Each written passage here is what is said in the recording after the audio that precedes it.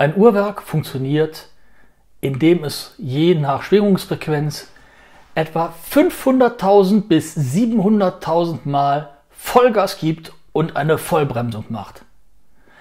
Das Ganze pro Tag. Das entspricht ungefähr zweieinhalb Millionen bis dreieinhalb Millionen Vollgas-Vollbremsungswechseln in der Woche.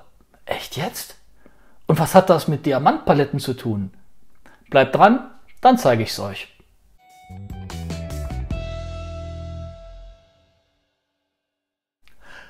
Hallo und willkommen bei Watchmaxes Uhrenvideos. Mein Name ist Axel und ich freue mich, dass du heute reingeklickt hast. Ja, wie komme ich jetzt auf 500 bis 700.000 Start- und Stoppvorgänge beziehungsweise zweieinhalb bis dreieinhalb Mal Millionen Mal in der Woche? Das ist relativ simpel. Man nimmt einfach die Anzahl der Sekunden pro Tag.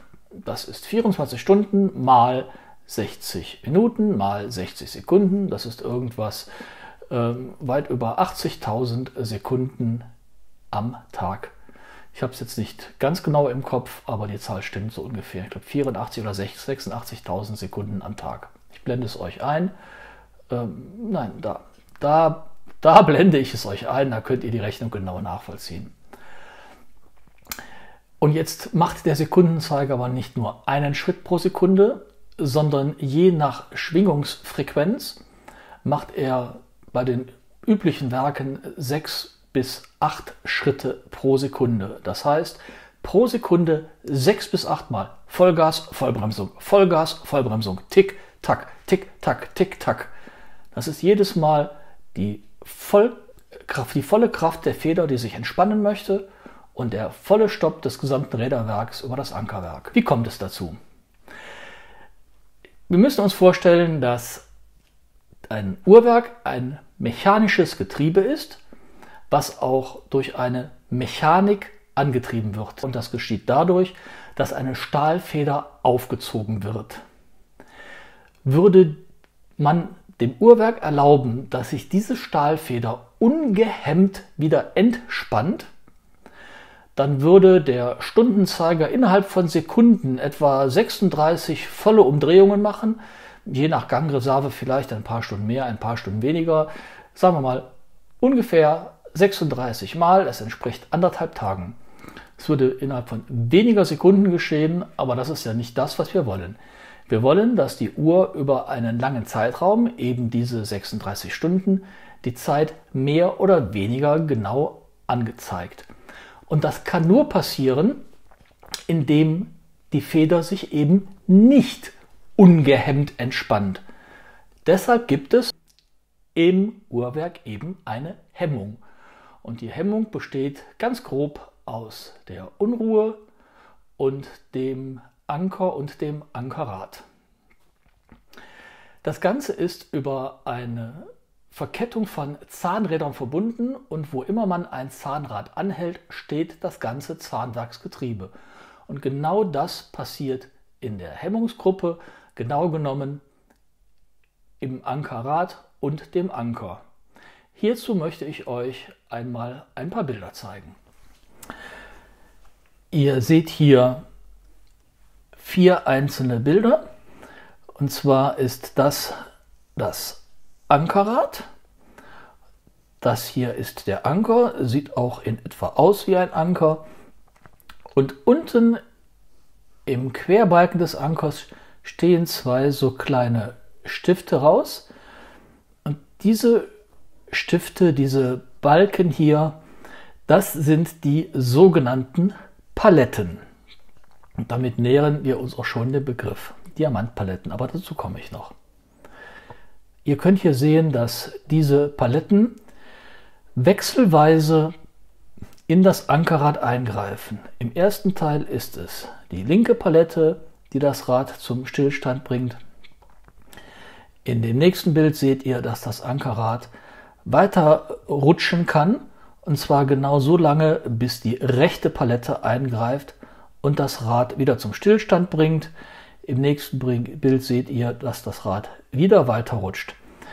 In jeder Bewegungsphase könnt ihr sehen, dass die abgeschrägten Spitzen des Ankerrates über die leicht abgeschrägten Enden der Paletten rutschen und hier ein entsprechend hoher Verschleiß entstehen kann bzw.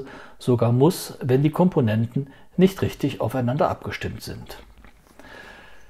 Ja, früher hat man diese Abstimmung gemacht, indem man diese Teile geölt hat und das ist auch heute eigentlich noch der Standard. Durch das Ölen wird die Reibung reduziert, durch die Reibung der Verschleiß und die Teile halten länger. Sinn hat sich da etwas anderes überlegt und hat im Ursprung, ach nein, lassen wir doch einfach mal auf die Sinn Homepage gucken und sagen, was Sinn selber dazu sagt. So, ich gehe jetzt hier auf die Sinn Homepage. Dort gehe ich in den Bereich Sinn Technologien. Wie ihr sehen könnt, ist die Diapal-Technologie erstmals eingesetzt worden im Jahre 2001 in einer Finanzplatzuhr in Weißgold. Und das Kernelement ist die schmierstofffreie Ankerhemmung. Ähm, wie ich in einem Video über die AR-Trockenhaltetechnik schon gesagt habe, ist die Alterung der Öle in der Uhr neben der ständigen Bewegung ein Kriterium für einen Verschleiß bzw. auch erhöhten Verschleiß. Daher war die Idee von Sinn, die Verschleißkomponente der Ankerhemmung zu reduzieren, und zwar nicht indem das Öl verbessert wird, sondern indem das Öl überflüssig gemacht wurde.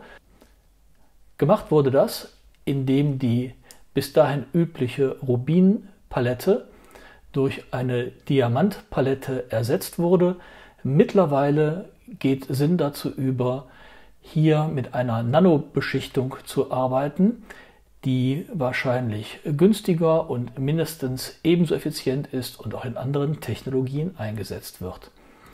Schauen wir uns das Ganze einmal an, was das bedeutet.